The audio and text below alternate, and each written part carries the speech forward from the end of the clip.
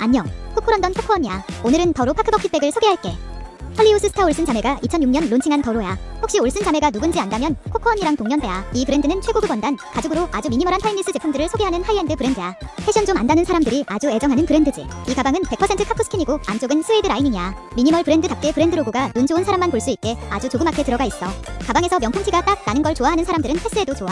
아주 심플한 버킷백에 탑팬들이 있고 입구를 여밀 수 있는 가죽끈이 달려 있는데 부드러운 가죽이라서 사용하며 시간이 지날수록 shape은 자연스럽게 바뀔 거야. 너무너무 가볍고 수납력이 좋기 때문에 daily bag으로도 딱이야. 할머니가 돼도 들 수 있는 timeless bag이야. 색상은 블랙이랑 아이보리가 있어.